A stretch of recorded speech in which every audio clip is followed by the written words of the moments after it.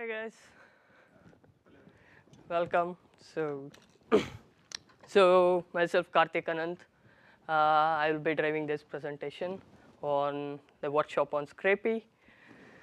So, before before we move on, let me like try to understand the crowd. Um how many of you are from or students or from academics? Oh, may not be student. okay, so you're a student. Okay, so rest of the people are like um, working for some company and programmers. Okay, cool. So, and like how many of you already uh, have done some sort of scraping? Cool. So, have you used Scrapy before or aware of Scrapy? You are, okay. So it might be a little basic for you guys, like uh, whoever have already done or used Scrapy, but uh, definitely like those who haven't like used Scrapy, it would be an uh, interesting uh, workshop, I believe.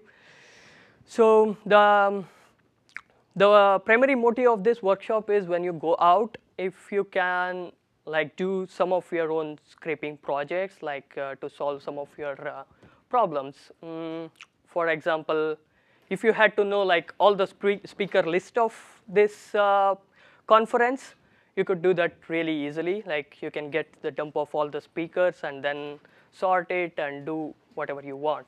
These kind of small projects, if you are able to do, so that achieves my goal is what I believe.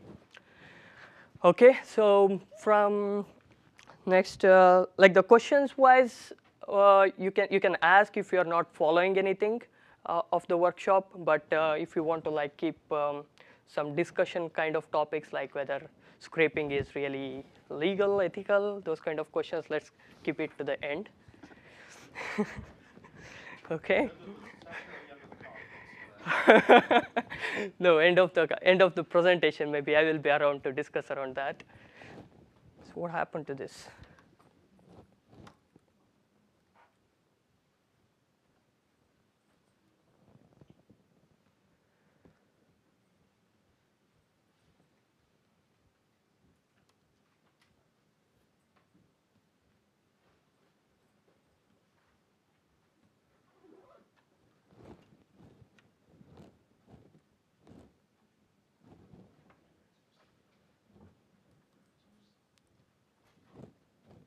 Okay.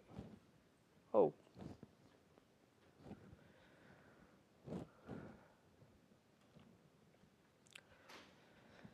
Okay, so what we are going to do is first I'll uh, give you some explanation on um, scraping generic and then about introduction to Scrapy and then we will do a small exercise hands-on which should be really interesting.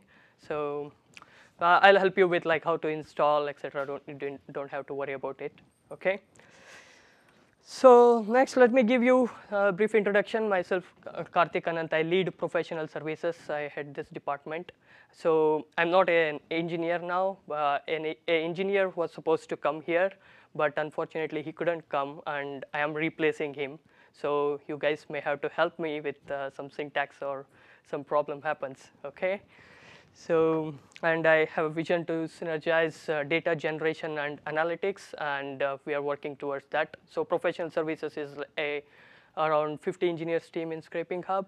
So, I lead the department.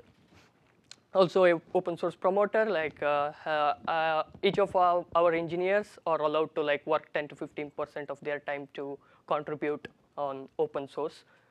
What type of businesses do you work with? Sorry. What kind of businesses do you work with? Which industries? Okay, so professional services is like uh, doing scraping projects for customers. So, For any industry. sorry? For any industry. Oh yeah, any industry. So yeah, we, we are a very small company. We don't have like uh, verticals as such defined. So we work on like uh, all segments. Like any scraping project that comes to us uh, will be under my department. Does that answer your question? There are no verticals as such defined. It's everything is Which industry you uh, see come more often? uh, e-commerce. E-commerce is the main thing, and sometimes news. Okay. So let's move on. Like, why is uh, web scraping, why can't we use APIs? So that's the primary question people ask. So APIs will have like a lot of limitations. Uh, sometimes they don't update what is there on the website, and APIs will have a lot of restrictions. And also like uh, there will be some competitive information that was that would be needed. Like imagine if Best Buy goes and asks, "Hey, Amazon, I want your price uh, of these products at what price you are selling at." What would Amazon do? They'll slap on the face, right? So we we can't uh, rely on APIs for certain information, but competitive information is definitely needed because consumers who are we, we will get advantage out of that. So if uh, competitors have competitive information, they can sell at a very competitive price, and we consumers will get, get benefited out of it right? So APIs may not be the solution always. But of course, if you have some APIs, it's recommended to use rather than doing web scraping. If you get all the information, use APIs. Otherwise, we have to stick to web scraping. So another uh, new thing that is coming up with semantic web, so which is uh, which is like how do you understand the data in the in a website? So, but so like overall around like 5% of overall websites uses this so it's not yet uh, matured enough or it may not get matured enough also uh, I, i'm not sure but as of now semantic web cannot be used because only 5% of the website uses that. Okay so what is web scraping? So this is a formal definition like get the structured data of, out of unstructured uh, websites. Like websites displays data in its own way. You want to get it in a structured format like json cvs or whatever it is for uh, further analysis. So this web scraping is about getting data from an unstructured source which is which is mostly web web pages uh, into a structured data okay so, yeah So scrape from websites. I mean, you need to know like what kind. Besides websites, it says mainly websites. Are there any other uh, sources you can use scraping? So what I'm going to talk about, uh, mostly website, not other sources. It's it's for websites, not mostly. But um, scraping is a uh, bigger terminology. You can like do scraping on databases and different sources. But uh, this top this talk is only for web scraping. Okay, so what for? So we need a reason for scraping, right? So first and foremost is like monitoring price, as I already spoke about. Like you need to have competitive information and uh, monitoring prices of competitors is one of the things. So we have a project where uh, like we scrape around like thousands of uh, e- retailers to get the competitive information. So this is one of the things. And lead generation, you need to have like uh, customer contacts. All those things can be done. And aggregate information. Um, we did a recent project where uh, we collected all the articles related to Canada elections and then give it at one place.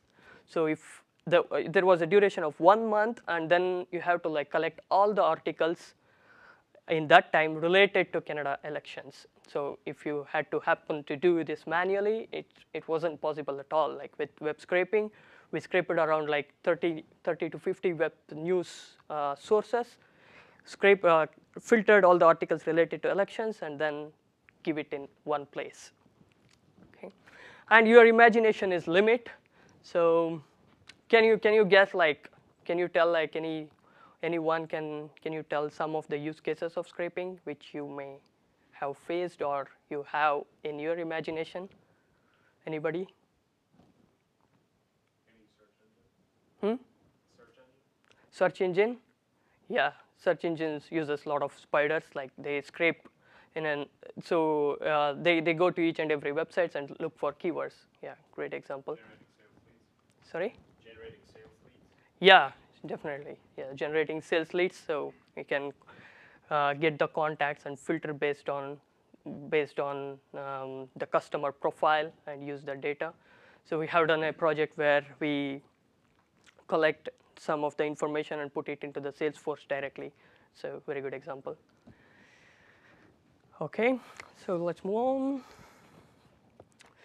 So are you like convinced like web scraping is a thing that you need to do and learn? Okay, I need some of the feedback guys, otherwise I will get bored. huh? Okay, so if you want to like do web scraping, one of the things you need is HTTP. You have to literally speak HTTP, right? So you have to understand HTTP very, very well. And when you, when you go out, you should be like talking, hey, get HTTP one slash one burger.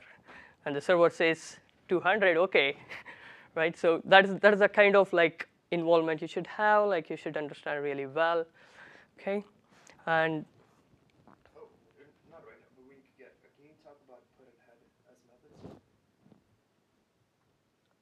Okay, so th these are the standard uh, standard headers of HTTP protocol.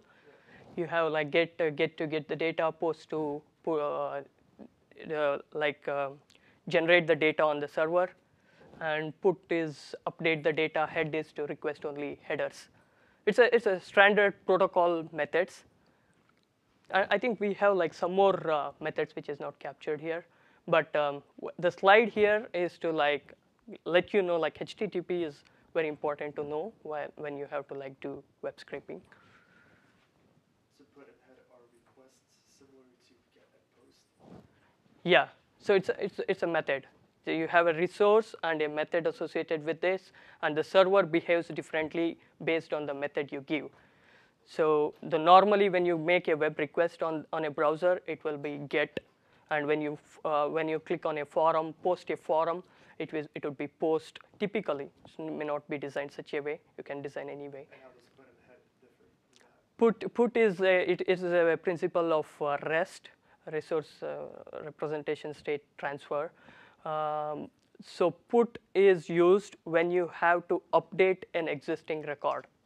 So you already have a record on the server, and you need to update it.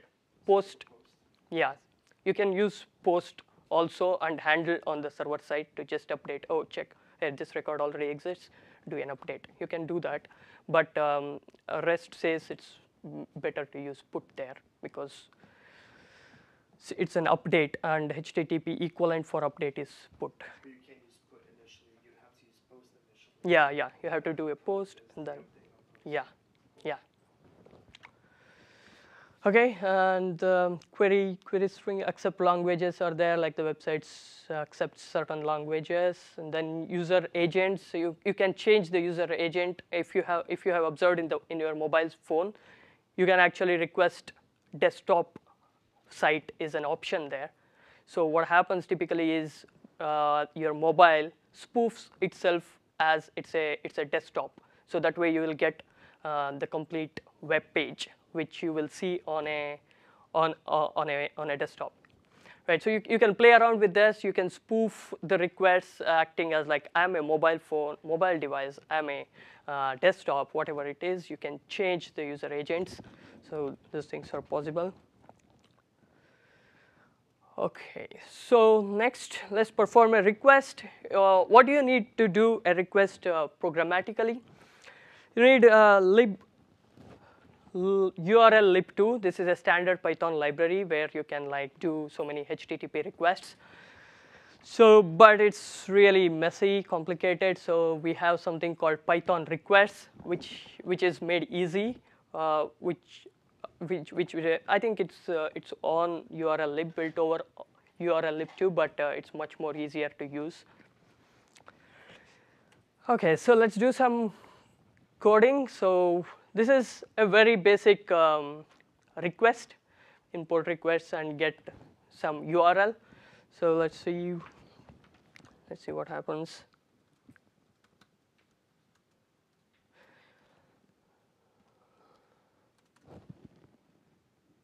Can I reduce the font a bit?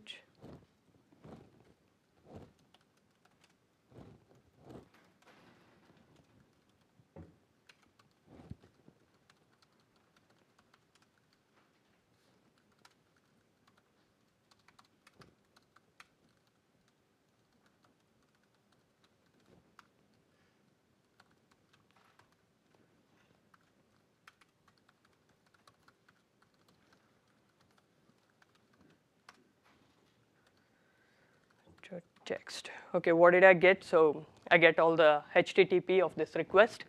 Okay, so basically what we did, we programmatically did a request to the website, and then we got some HTML. So what do we do with this HTML? So we got HTML, but there's no use of it. But we have to do something to get uh, interesting information out of it, right? So any guesses what what we have to do next? If we have HTML, like to get the information that is important to you, like what do you have to do? Exactly. So what are the ways to parse? How do you parse? Huh? XPath, exactly. So uh, if if anyone is thinking like you can use regex, forget it. So it's it's a mess to like do uh, parsing using regex for HTML basically because it's it's not a regular language, right? So there is no syntax. If you just ignore the tag, it works, and it's really hard to find a particular information using regex. This is a standard Stack Overflow comment on that. So it's no use now because you know already XPath should be used. So LXML, as someone pointed already, is, is the Pythonic binding for libxml2 and libxslt. So it's very fast and uh, it gives the power of XPath as well as the speed of C language.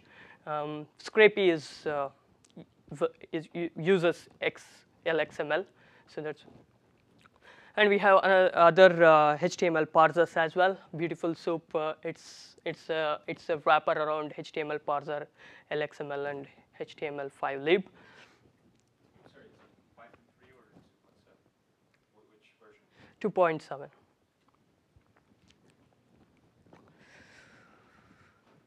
Okay. Okay, so uh, we know we got to know like what needs to be done after we get the HTML, so which is parsing. So let's do some parsing. So this is how you do basic parsing. So you, uh, I have just uh, taken the schedule, PyCon 2015, sorry, PyData uh, 2015 schedule, and then I have parsed it for speakers. Okay, so it uses the HTML here, sorry, XPath here, and then you do you get the information needed like text and H, uh, href. Let's run it. Oh.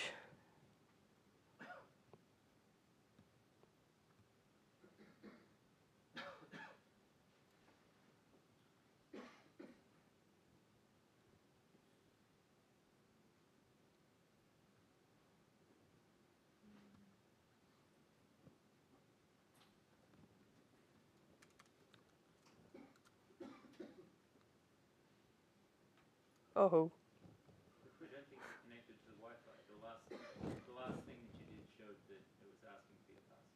Oh, is it? It turns off every time.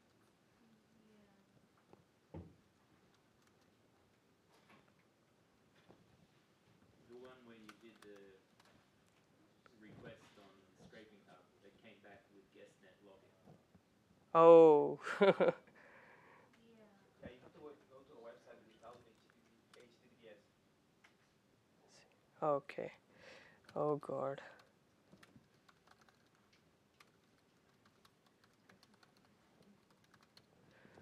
To get my credentials now.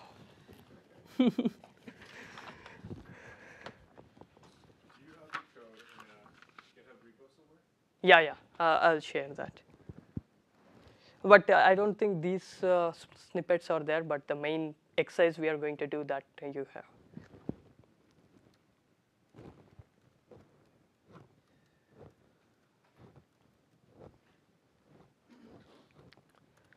And if you guys like feeling bored or and if you want to like get into the exercise directly, like please let me know. So it's completely okay with that.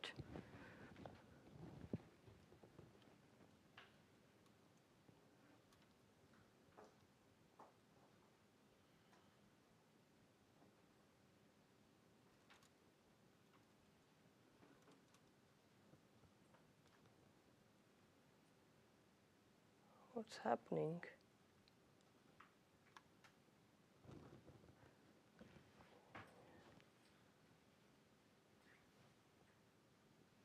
Okay, anyway, forget it. Let's move on, I think. So it should have like given, I had tested a while ago, I don't know what happened suddenly. So maybe Murphy's law. So this, this should have like given all the speaker list of uh, this conference. It goes to the schedule page and then scrapes all the speakers name. That's what it's trying to do. Uh, it's, uh, it's getting the XPath here, the speakers XPath, and then get the text and the href associated with that and printing those. That's what it is doing. Can you talk more about that line, the lxml.html function, uh, its function? From string, so this, this, this will It creates the tree variable. Yeah, I think it it uh, creates a tree. I'm I'm really not sure about that. Sorry, have to apologize for that. But yeah, I believe it should uh, create a tree out of that, and then get the speaker list. Okay, so yeah, anyway. So and then like uh, this is a statement to like prove the power of XPath. So if you if, like whoever wants to like try reinvent the XPath will like mostly fail and um, because XPath is so powerful and uh, if you want to like do parsing like that is the one thing you should really really learn. There's no other way uh, you can do parsing as of now. So Okay, so now we got to know like we can do a request, do the parsing and get the data, uh, important data that we need. Why do we need Scrapy, right? So can, any guesses like if you if you want to like run this code, you can you can run one request works and if your boss asks asks you to like run 1 million requests, what would happen? Hmm? yeah, you'll get banned. That's one problem. Before that, there is another problem. You'll have to sit there and do it every time. Yeah, it you, it will take ages because this is a blocking call. This particular call is a blocking call, and it won't come back till till the request is served. It it just blocks there. So what typically happens is like this. So the the biker there is can go faster, but he's blocked by very slow moving requests there. So you, you can't really like overtake those.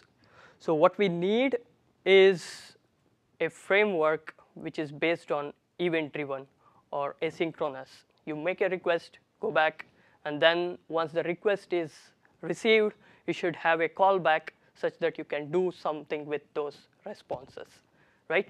So it's an event driven mecha- event driven driven framework is needed, which is why you need a framework similar uh, framework such as Scrapy.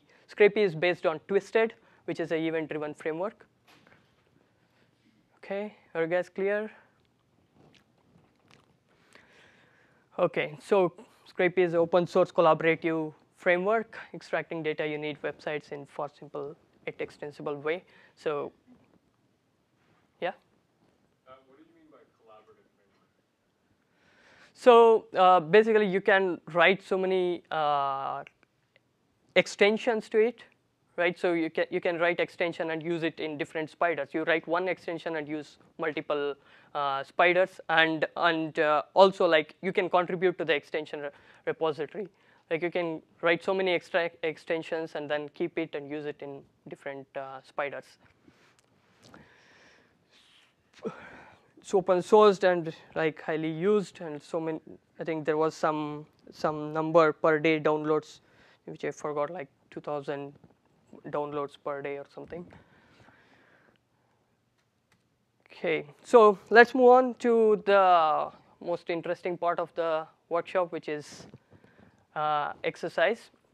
So in this exercise we are going to do uh, find out all the restaurants around this place okay and then do some analytics over that okay. So based on like what rating uh, rating the restaurants has and then we will create some analytics that's the motive of this exercise so first of all you would need um, scrapy to do this and this is how you install scrapy uh, do you all have conda installed So if you have Conda installed, this is the command to use. If you don't have Conda, uh, you can install it quickly. So you just go to Conda website and install the Miniconda there.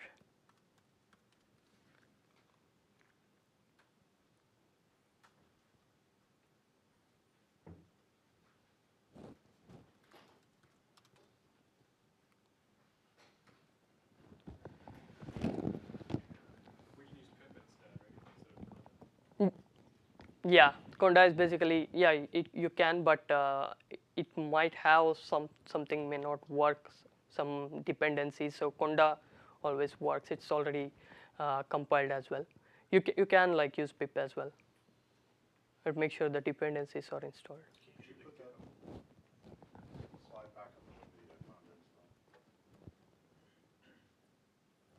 So if we already have Scrapy, do we need to do anything? with No, no, nothing is needed. Scrapy is ne- Scrapy is already installed. Don't, need you need not do all these things. GitHub link for? Yeah, so I, I can show, but uh, what what I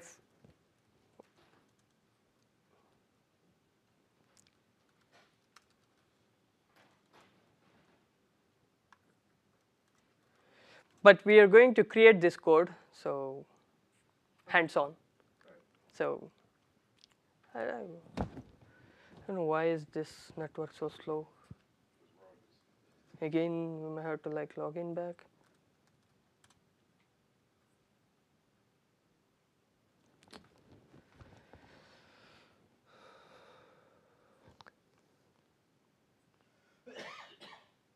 Type in Bank of America and it's gonna go into your history and pull up a portal. Mm-hmm. If you type in Bank of America, the URL, that will go to your history and pull up the portal. Yep, second one, portal. That's weird. Okay.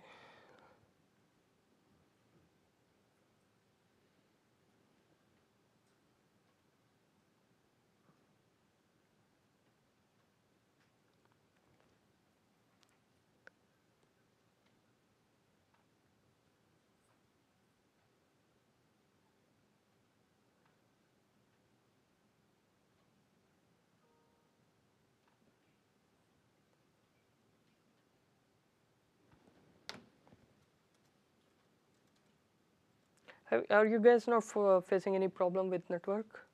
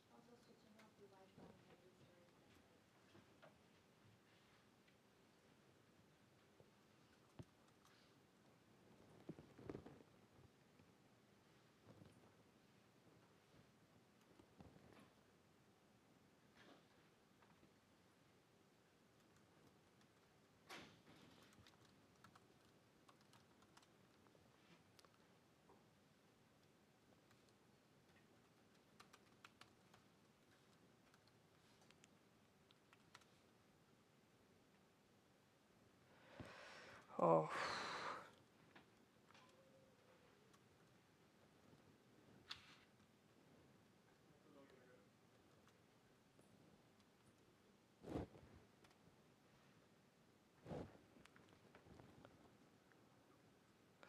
Let me just data it.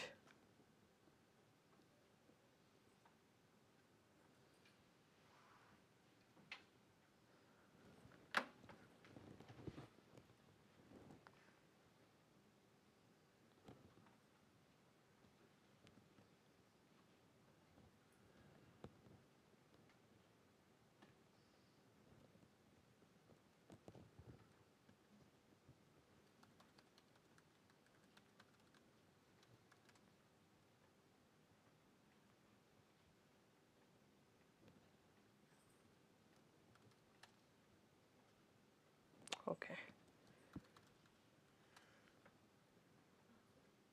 So let me know like if you're all, all set with uh, once the script is installed. Anybody still installing? I got it installed, but it, it, uh, according to requests, uh, it generates error. Sorry. Library. Oh, that's like, Yeah.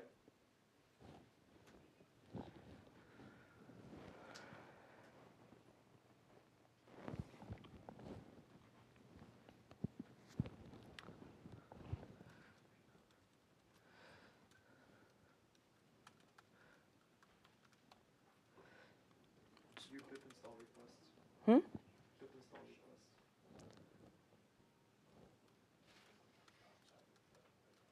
Pip install requests. Okay. So yeah, req- That is if you want to use the request library. hmm, yeah, That's what we did before. yeah, yeah. To execute requests, you need re- pip install requests, right? But Scrapy, uh, you know, you don't need that. So you need LXML, but it gets automatically installed.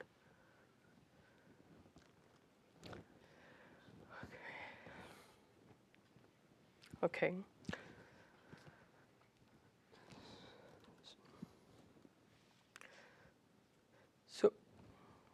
okay, shall we move on?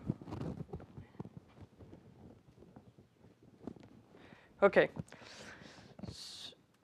So whoever have installed, you can you can execute this command shell and give a http com.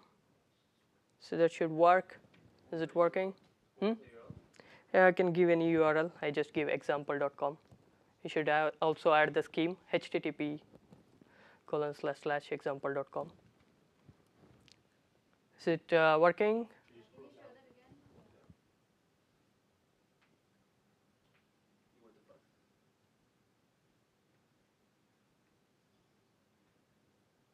Okay, let me do it again.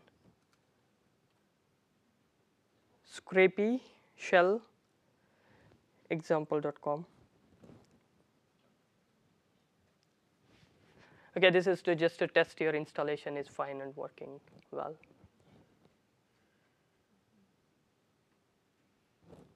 And doing that immediately takes you into the Python prompt. Yes.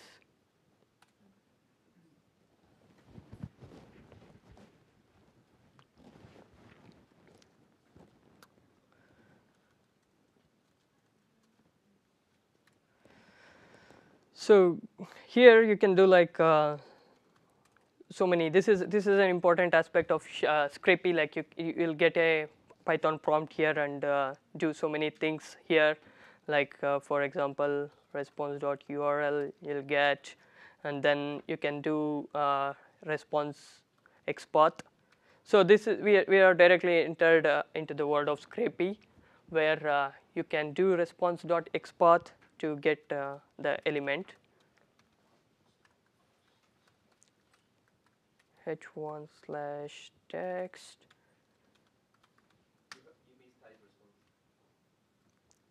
Thank you.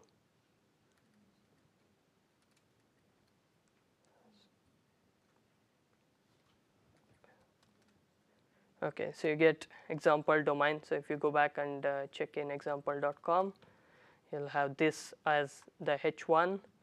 Uh,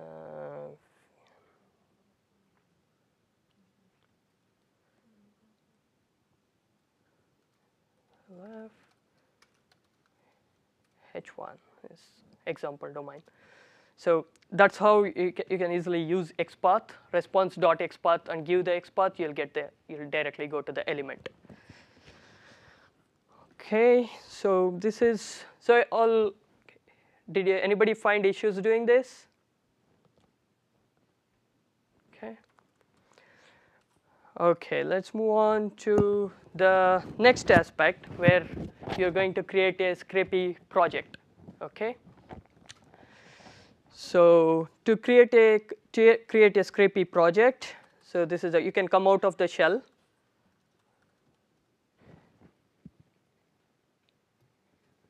Scrapy start project.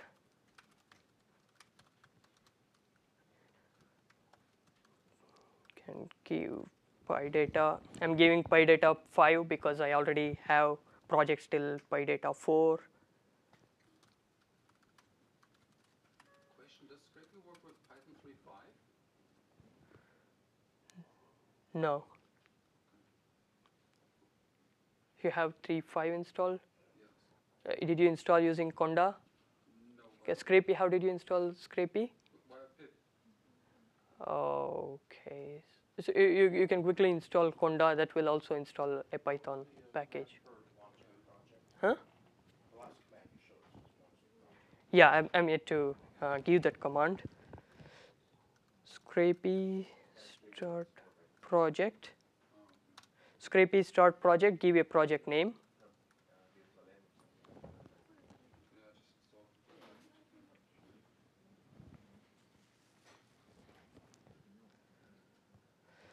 Okay. Scrapy start project, give a pro- project name that should create you a new project.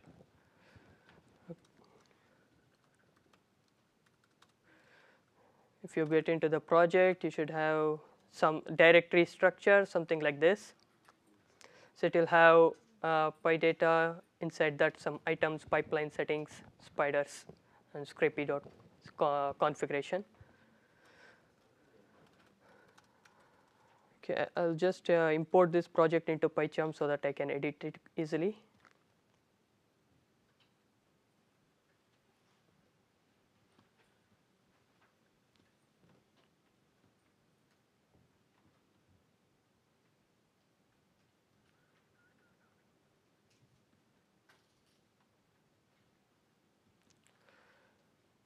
Okay. So this is how uh, the folder structure gets created. And first thing I want you all to do, go to settings and uncomment this, this line, HTTP cache enabled true. Okay, this basically doesn't make so many requests uh, to the website we are going to hit to, to be nice to the website. Go to settings.py and uh, uncomment HTTP cache enabled.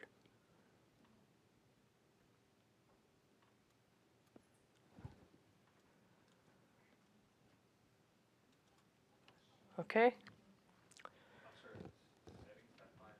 Yes, settings.py and then go to around H, search for HTTP cache.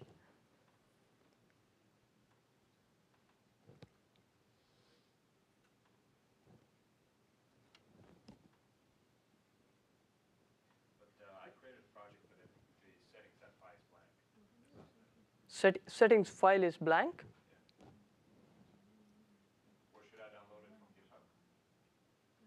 No, no, settings file should get created.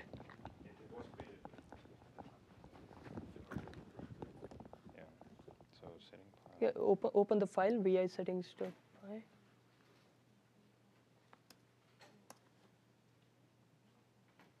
Settings.py. I think you were opening the wrong uh, file. Which one should Yeah, this one, settings.py.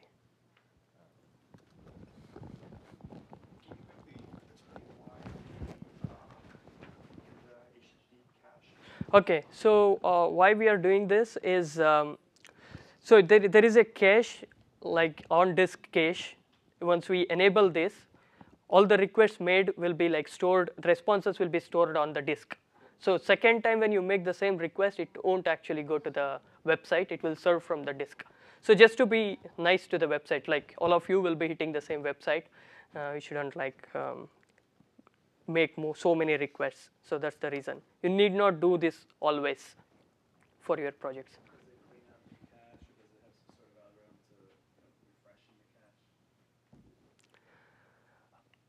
Uh, yeah, I, th- I think there should be something of that sort, or or so. Um, expiration, so. Yeah, you can you can change that the way I just So, but this this thing is only for this uh, this exercise because all of us will be hitting the same website. Uh, we don't want to like overload the website, so s- uh, you need not do this always. If you are running uh, the spider for once or twice, it's fine. You need not uh, do this cache enabled. And and for the for the if the data size is huge, you may end up like uh, putting lot of on your disk, which may not be needed, right? So we we spoke only about one setting, one, yeah. Okay. Okay. So let's get back to some of the theory again before we move on to the coding. So what is a spider, right? So spider, this is a very basic uh, spider, right? So if you if you just uh, inherit uh, scrapy.spider, the class will become a spider, right?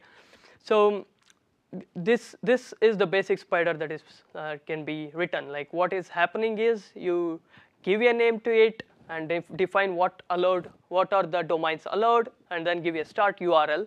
What what it does is it will go to the start URL and start making requests. And then once the response is come, uh, response arrives, it will it will execute the parse function. Okay, so basically you make a request, and once the response is there, it will go and execute uh, uh, execute the parse function, and you have the response there, and you can do whatever you want. So this basic spider is just uh, logging logging whatever you get, right? Logging logging a message. That's all uh, with with the response URL. This this is the basic spider in it itself. Okay. So uh, are, you guys clear? Like how to how to create a basic spider is you inherit scrapy.spider and make a class. The class that inherits scrapy.spider becomes a spider, and you define a parse to do how you have to parse the response. Is it clear? Guys, back from the back there, are you guys following?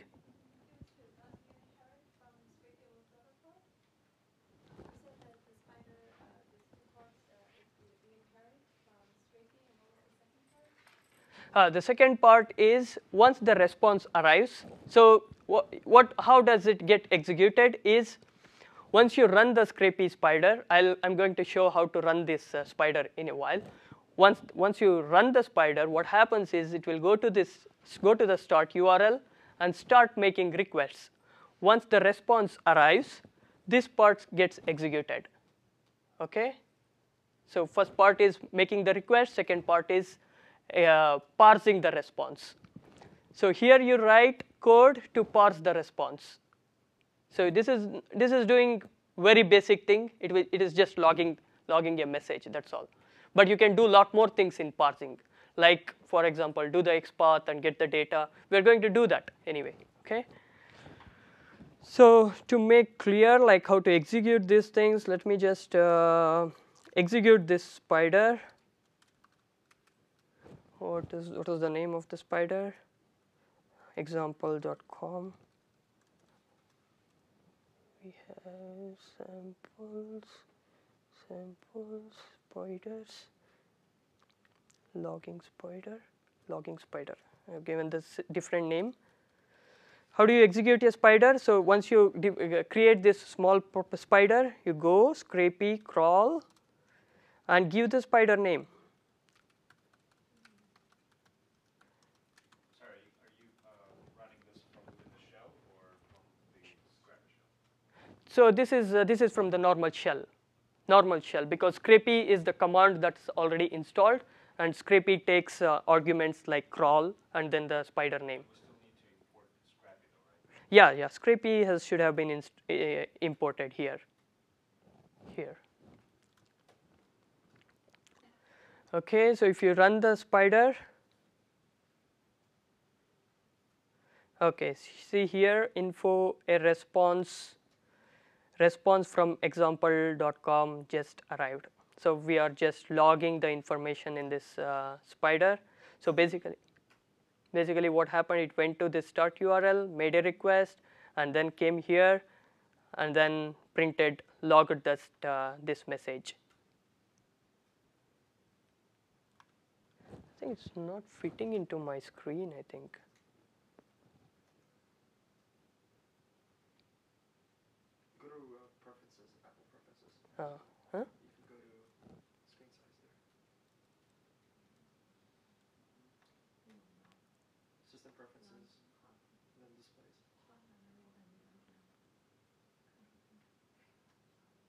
The Apple logo. Here. Oh yeah, perfect. This place.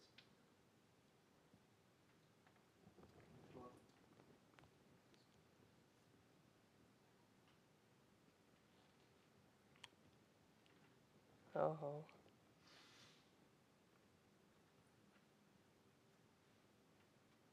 It's correct only. Huh? 1280. 2018.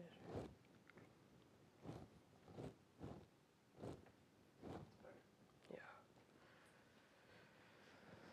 Okay. Sorry about that. Okay. So so parse it's it's when when we executed we just uh, logged a message but we need to do like little more complex things this is very simple so let's uh, see how we can do that so so next spider this is a little more complicated little more not complicated little uh, interesting so in this spider what we are going to do is making a request to the same uh, example.com website. And in the parsing we are doing little more things. What we are doing going to do is get all the h3 text and then yield it. Okay this is this is very important thing you should know. Once you do this in parse once you yield something what happens is it will be collected as an item okay item and that the, those items can be like routed to your output file okay? So i'll show you how how this will help yield, yielding a message. You'll get the data in in a separate file okay? Once once we execute you'll understand. But what we are trying to do in this parse is we are going after h3 text and then title title is h3 we are we are yielding that what what do you mean by yielding is that becomes an item in the output file. I'll show you once we execute this. Here and we are also going after all the hrefs. That means in a page if you have any um, urls right urls we are going after those urls what this is doing is scrapy.request is actually creating a new request out uh, from from the response you got and in that re- response you have a url in it and then you are creating a request to that url again it will come to a, a second request is made and the second request also comes to the same function parse and then finds if there are any h3 here. So are you getting a recursive call here? So first of all it goes here comes to parse and then yields the h3 in that page and then goes after all the urls in that page makes a request to that. Yes. Yes absolutely. This this this will also an asynchronous call.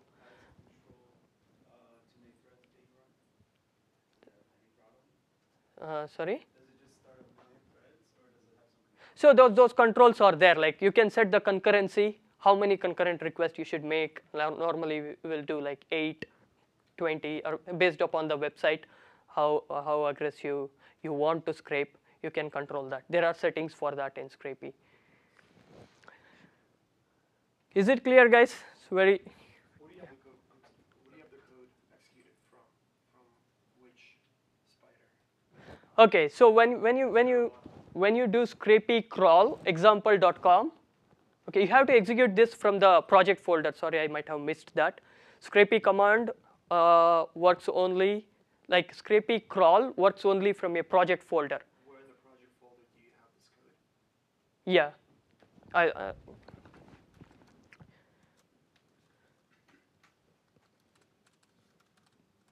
so we are in the samples project. So I had created a samples project beforehand, okay, and then we'll see what are all the spiders we have. S- inside samples there will be another samples folder created. Inside this there should be a folder called spider, spiders, okay, and here you are seeing all the spiders. So this particular program is uh, item creator, okay. Let me.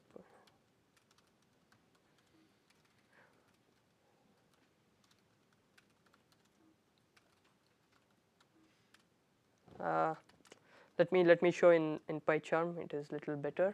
So this is this is this this folder gets created when you do start project, and uh, inside samples inside spiders here is the spider code. item creator. Okay, so I am in this folder. I think it should be. It doesn't matter. I think anywhere in the folder uh, uh, project folder it should work. He crawl items creator. That should execute this uh, command. So I'll just uh, route this to output file. Okay. Okay. So what I did is I just executed this particular program. Okay. So which which you saw on the slide. I I have changed the name. Uh, forget. No, don't worry about that. It's okay.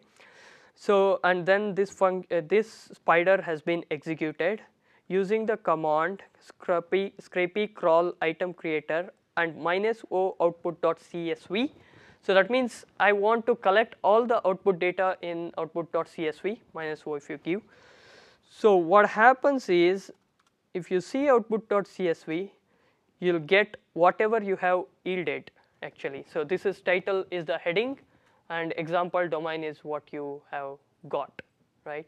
So that is the importance of yielding something. So that's how if you yield in in parse function you will get that items in the output file right. So whatever whatever the important information that you need to collect that should be yielded uh, like that okay. What's, what are we doing in the second yield statement there? So this yield scrapy dot request. Okay, so yield dot request is actually making more requests, but uh, this example domain does not have any other URLs. There is only there is no other uh, URLs. There is there is one URL here, but it's going to a different website. So and it's getting filtered actually. So if you see in the log, you'll get to know that uh, it has been like filtered offsite. So that means uh, this this website has been like filtered. We actually did a request here, but uh, we filtered that because allowed domains only example.com is allowed. Okay. Okay. So this this is basically to do more requests. Okay.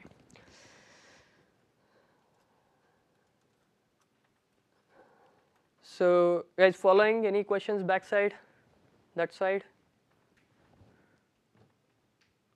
Are okay? Okay, let's move on. Okay, let's move on to the this thing original problem. Like uh, you have like learned to create basic spiders. Let's try to do some interesting stuff. As I told, like we'll try to figure out all the restaurants close to this place. Okay, so I will be like doing this project. I would like to like you also like to uh, write the code. We should be able to do in it in 15 minutes or so, so that uh, you will also have the project in hand after we finish this exercise. Okay.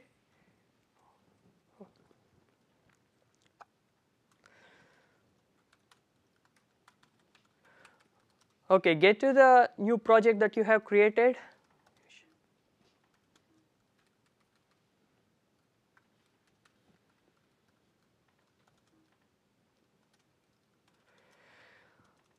And then go go to this uh, fi- spiders folder and then create a new Python file called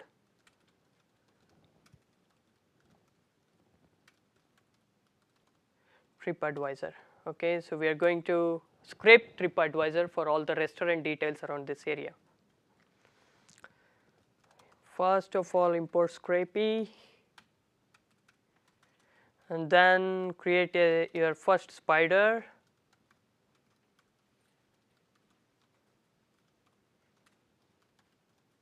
What I have to do now? How do you like create your own spider? yeah scrapy dot spider so that becomes your spider next uh, give a name visor give allowed domains.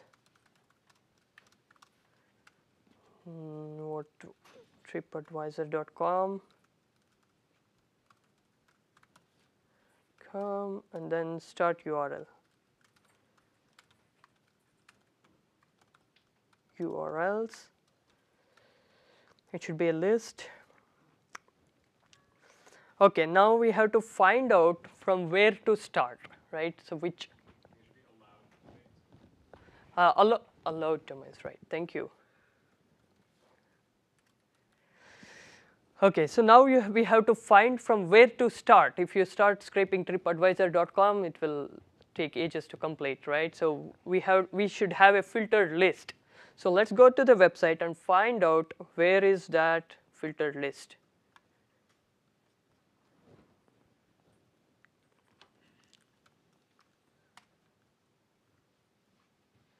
Okay, so near to so this is already existing, I think. So New York City, and then go for restaurants. Got lot lot of restaurants, but uh, we may have to like find an area which is close by to us. Okay. Merrill Lynch. Okay, there is Mhm. Just type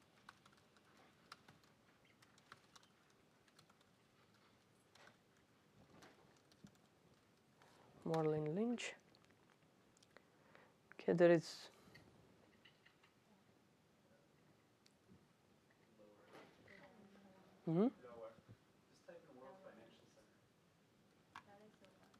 right there, Bank of America Merrill Okay, so here, here, here. Okay. Yeah, I think uh, yeah, that's that's fine. I think so. Here there are so many offices, and we, need uh, this Tribeca. There is one area here. So here also there is Tribeca, which I already knew. So we can go and filter based on Tribeca. This is one of the areas. Okay, filtered it, and then we got less number of uh, restaurants around this area. Okay. So now, now this this is the URL which is which is generic. If you go to this, there won't be filtered list. Okay, what is that? What happens is it will show start showing all the restaurant list. Sorry.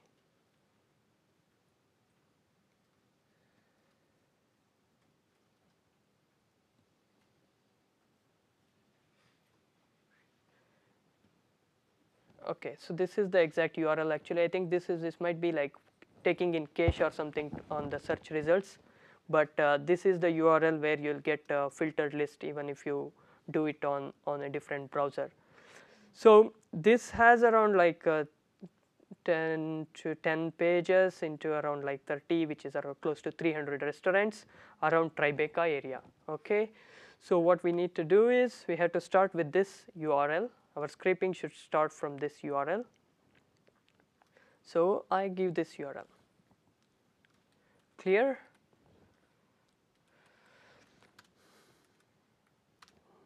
Okay. Now the scraping starts with this URL. So the response will have all these all these restaurants and everything. So we need to we need to get information uh, of of each restaurant. Okay.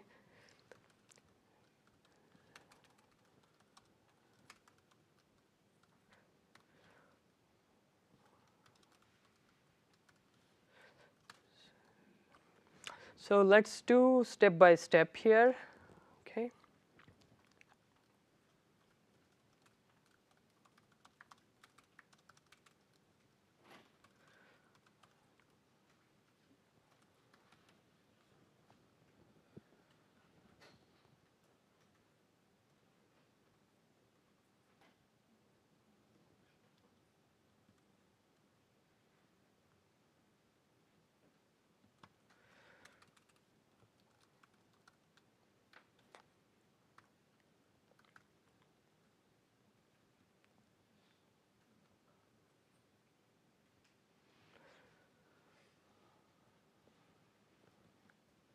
Okay, so what we need to do is uh, we have to get to this this page to get the name and the rating and the location of the of each restaurant. So, so to get the URL of that, that we need to find out what is the XPath of uh, this link. Okay.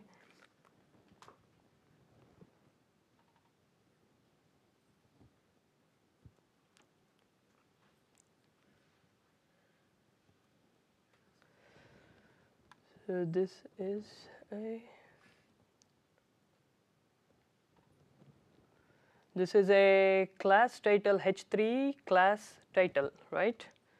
So what we need to do is h3 at class equal to title chill of at href okay let's uh, let's verify if this XPath works.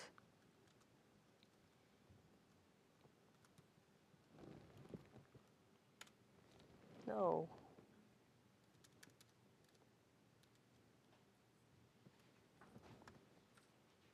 A slash href. Okay yeah. A slash href. Okay so this XPath should work let's verify once again. Okay we got 30 30 urls so what this XPath will give links to all these uh, these hyperlinks okay? All these individual restaurants. Let's uh, do a quick check.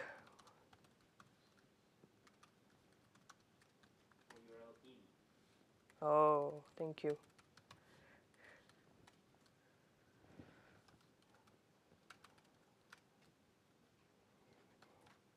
Y I E L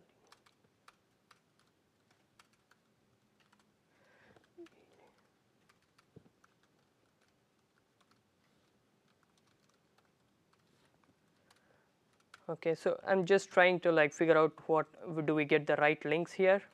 Okay we can we can run this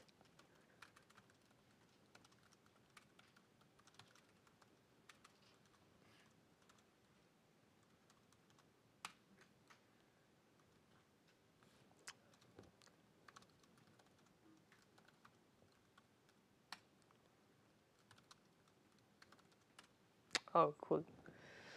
Something happened it is giving XPath only the object so we may have to do something here extract.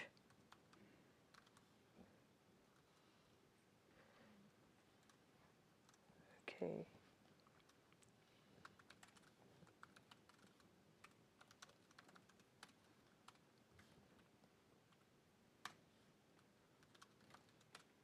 Okay cool. We got URLs but uh, this is not absolute URLs this is uh, relative let's do that. Let's get absolute URL is equal to response dot URL join. So these are the Scrapy uh, functions. URL this should give us the absolute URL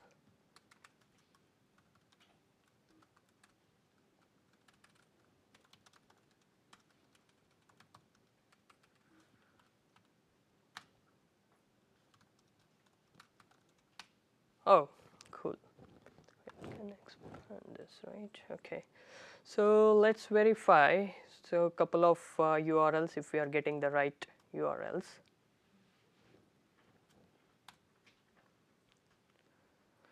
Okay, Nobu, yeah.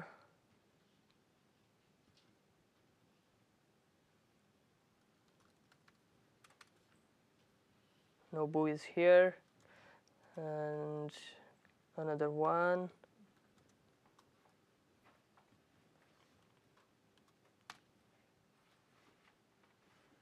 Trimand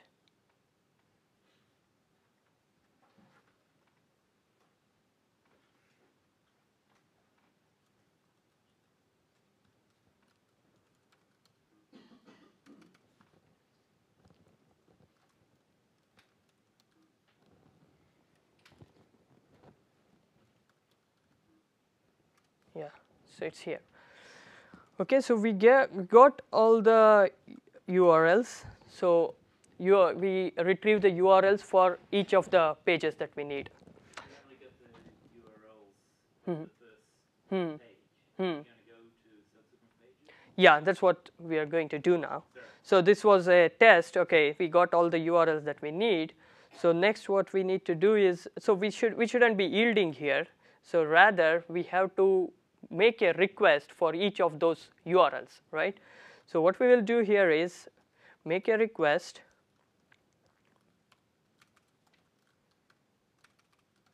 If you don't mind,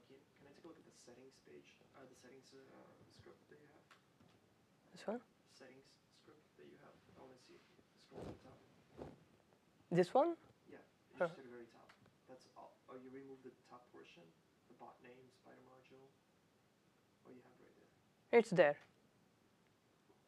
Okay, thank you. Is, uh, is there any problem? What's happening? That's okay. I got it. Do you mind if we just have a look at the TripAdvisor's code again? Spider. Yeah. Oh, sorry, not this one. Oh, yeah.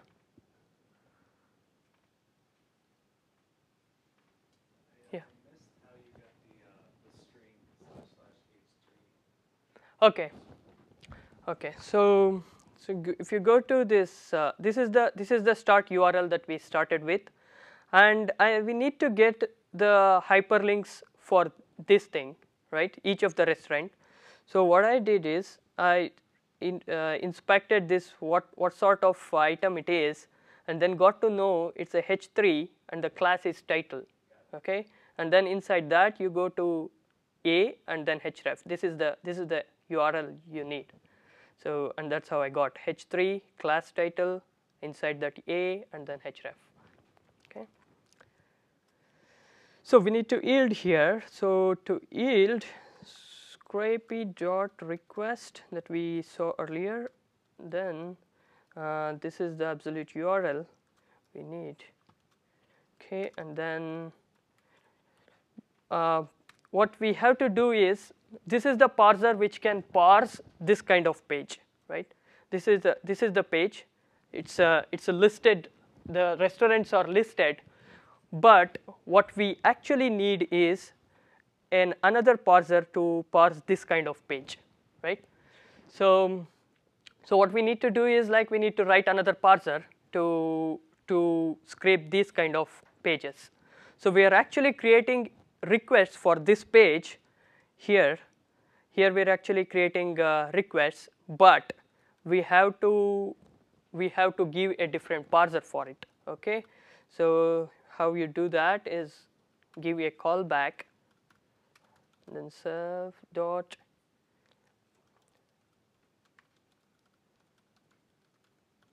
okay so we're going to write a new parser here so name it as parse restaurant okay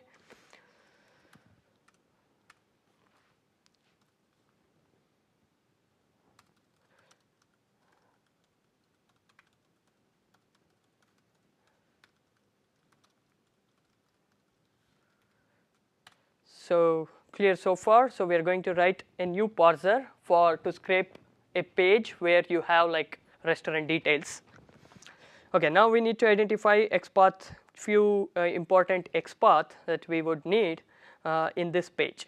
For example, the name, rating, and then longitude, latitude. That's that's we will capture. So location of the restaurant, its rating, and its name. Okay. So here in this image, we will have um, the ratings.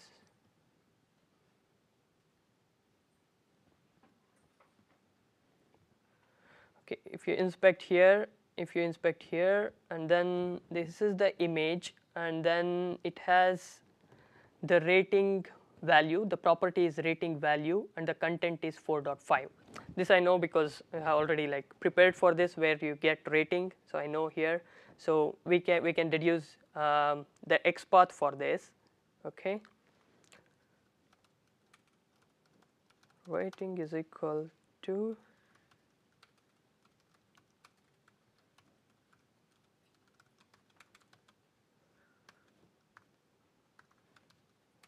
image equal to rating value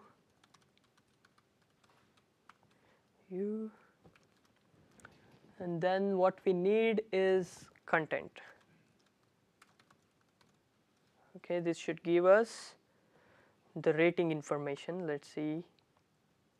Is this the right XPath okay we are getting that. Cool. Uh, and then we also need to do extract. Maybe first because we will have only one in this page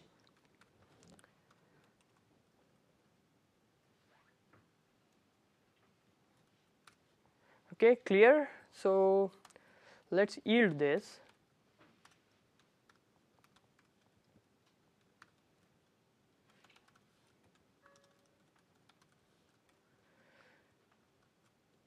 Okay is it clear now? Clear?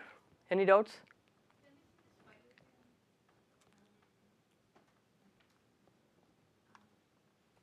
The bars, bars.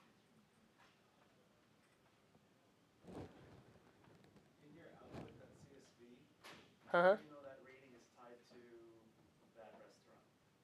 yeah I, I this is okay i need to add name and etc also. So i thought of like let's test once before we move on okay?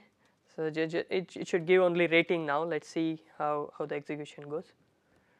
Hey did you get what you what you wanted? You asked me to get back to okay. So let's run it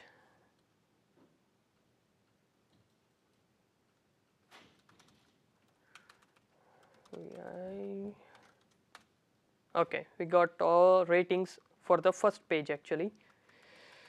Okay now what we had to also do is get the name and uh, name and other latitude longitude information right? So we have i have already identified that those information are available in in a map here. So, okay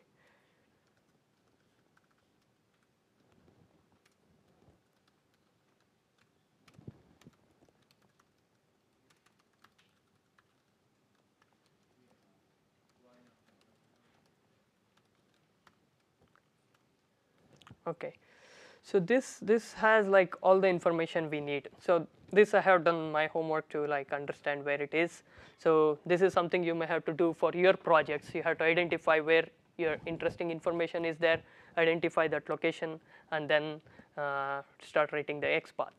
So here I know like div, uh, this map container has all the information that we need. So are you guys able to see that really? Hmm? Okay, so uh, uh, it's it's a div class equal to map container. That's where you have the information. You have data latitude, data longitude, and the name. Okay, let's let's create XPath for that, and then get the name and the details. Okay, is equal to response.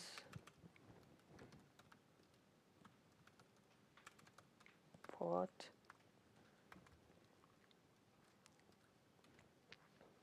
What does it? do?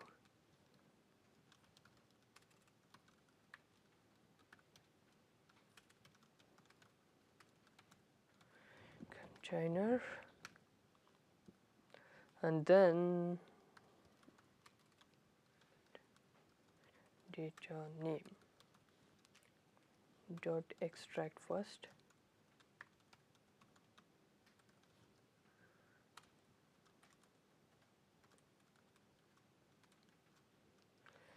we also need to do the same thing for latitude.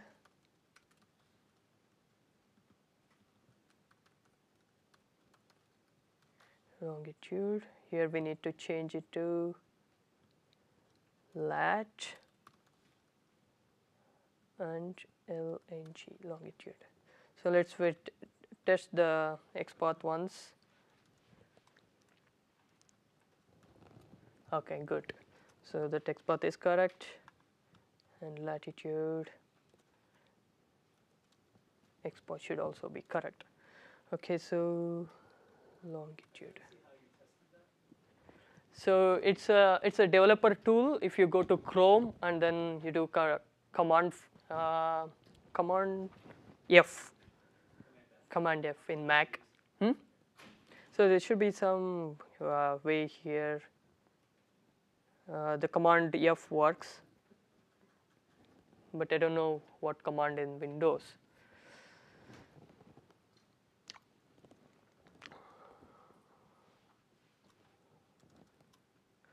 Okay, so and also we can add URL.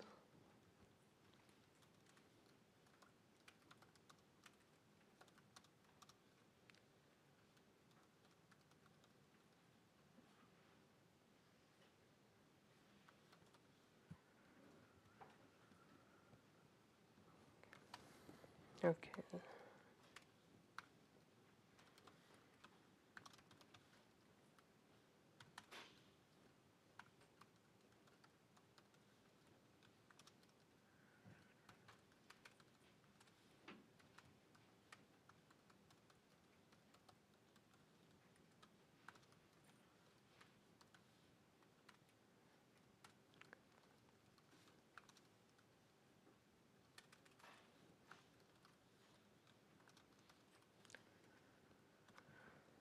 Okay, so I think we should have all the information that we need now.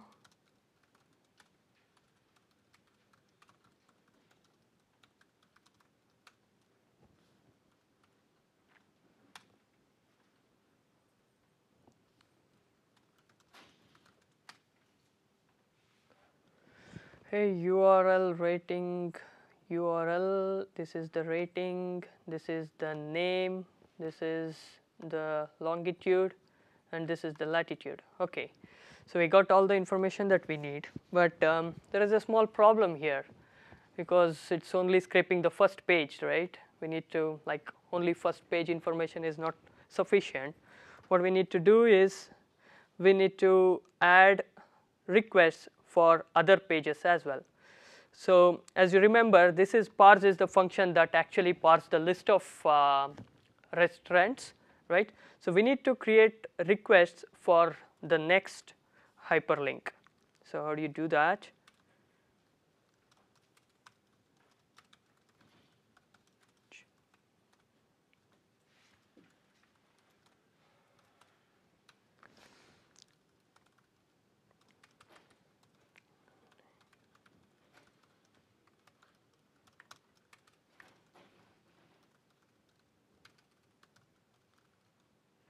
XPath of we have to find where the next link is there in this page.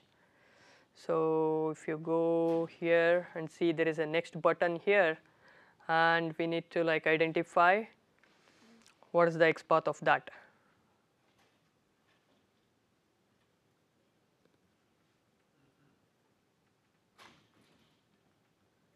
Right, if you inspect here.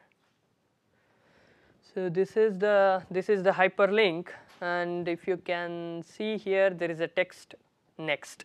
So it, becomes easy for us like what you do is a uh, text equal to next. So this should be is it right? Let's verify. Yeah, we got it. So we need to just close this. Okay, so this this is the URL uh, hyperlink for the next button. Okay, we got the XPath for the next button, and we need to extract it first. Okay, so are you- following so far? Next, we need to also do the same thing for this also. Absolute URL we already know that you only get the uh, relate relative absolute URL will do. Next.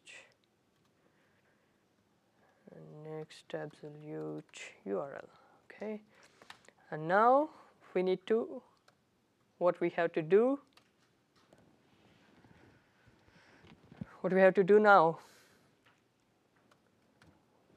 We have to yield. Are you guys following or it's, uh, it's the lunch time you guys hungry so by the way what time you have to like break for lunch Now? 20 minutes? Okay, give me 10 minutes. Okay. Quickly finish. Okay, yield. We need to yield the re- response. Oh, sorry. You reminded me of lunch now.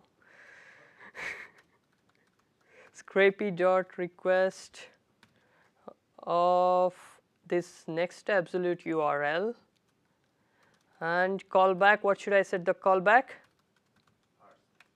Yeah, exactly. Self dot parse. Right? Okay. And this should be it. So this this will this becomes a recursive function, recursive call to this parse. This parse function is a parser for parsing the page that lists the restaurants, and parse restaurant is the parser that parses the detailed page, right? Yeah. So I think this should be it. Hopefully it works. Let's see.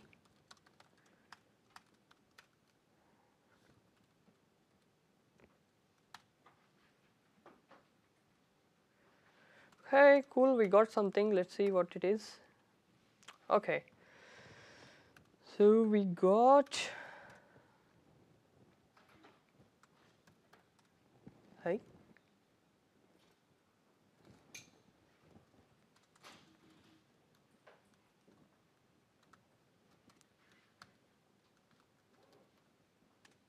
We got only 31.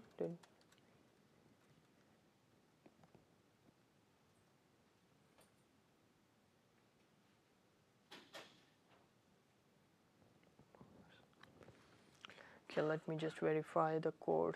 There should be some problem.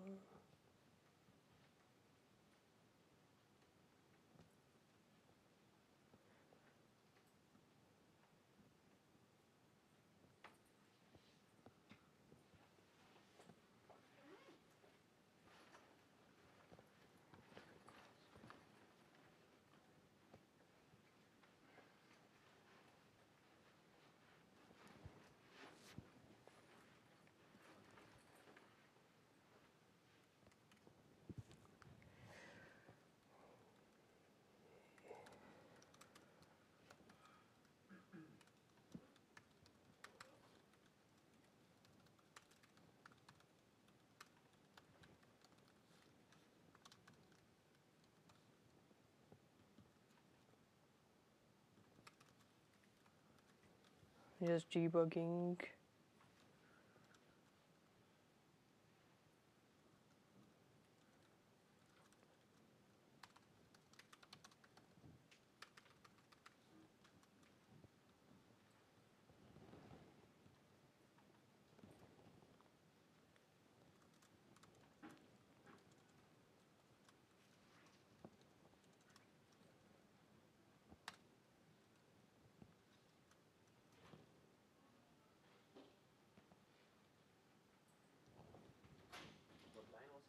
Hmm? What line was the error? So line 15.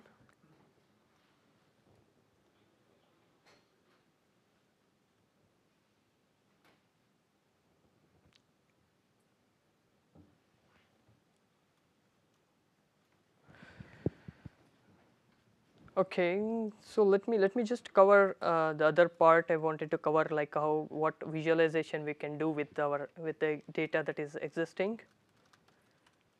Okay, we have some data. So we have something called CartoDB, right? So if you go and like uh, create an account here, so you can actually like just dump this CSV data and do some visualizations.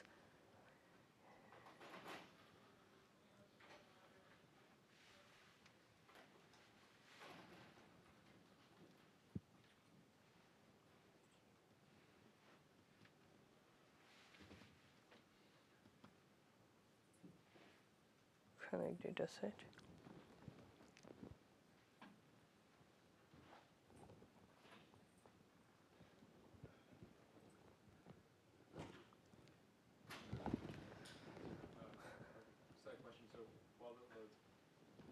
is really dependent on the CSS on that page. And so it's dependent on the classes there. So how would you design the spider so it, you know, if for some reason it can't find a link, like how do we make it resilient to changes in CSS? You mean to say like even even the website changes, uh, it should work kind of Yeah, thing? Is it, possible? Like, is there any way to like intelligently look for links? Yeah, we, we we do have like done some something of that sort, but um, it's not very very like uh, foolproof. Like you can do some guessing work, like okay, if if it is um, if you want to like uh, get the name of the person, if you find an email address, you can do some intelligent stuff to, check for surrounding things. Um, but um, but it's very hard to like write uh, write a spider for changing websites you would have to like change small modifications. It might have like changed some XPath. It's a uh, it's a minor fix in the spider, but um, it's very hard to write uh, like resilient uh, spiders. There's some algorithm to extract the text. If you only want the text from an article, Yeah. there's some stuff over there like this. Do you know anything about it? I usually use an API called Alchemy. Yeah. But this one for text. And also you can draw. Can draw. Yeah.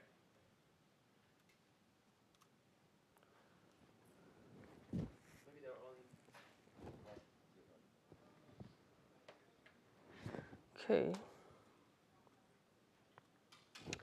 Okay, I think it's like taking a little more time than it usually takes. So what I'll show is like I have already like created some other uh, output files like generated out of the same things. I can I can show that in the map view. So this is this is something that you will get like end of the day like you have you know like where is the concentration of uh, restaurants around this area like based on the rating. So if higher the rating, like the darker is what it is showing because um, this uh, choropleth is based on on the rating. So I have chosen the rating here. So if it is five, and then then it shows really darker. So then you can add like uh, add which columns to show when you click on it, etc. So it, it it is showing the name and the rating of the of the restaurant. So so what basically the point is like with with this you can actually like know where is the where is the high rated uh, restaurant concentration is and then just you you go to that area so that the the options and the better food you get will be more. There's the there's the primary like business uh, case i wanted to show here. So so you know like here here there are very less uh, restaurants and also like less less rated. If you go here there are high rated more restaurants and probably you take that route. So this was this was the intention to show a business value behind scraping. Okay. So okay i had a few more slides but i know you're all tired and like break for lunch. So i'll just right away go to the last one like mandatory sales sales slide so it's like what we do uh, in Scrapinghub. So this is like off the shelf data sets. We sell directly some of the data sets and uh, web scraping projects. Cloud based platform is there where you can actually run your spiders. You can deploy spiders there and and it will serve, serve it will run on the servers. And you can you can hit like try scrapinghub.com PyData nyc to get uh, registered play around use our platform for free like you can run one concurrent job one job uh, and keep data for around seven days. You can try around try that. Okay.